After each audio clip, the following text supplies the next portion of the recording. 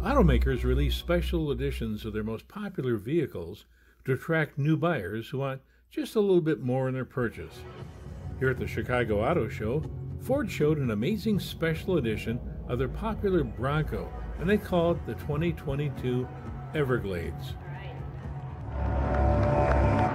Well, that's certainly the first time I've seen a winch used for that. Um, but what we have here is an awesome new special edition for the Bronco lineup, uh, the Bronco Everglades.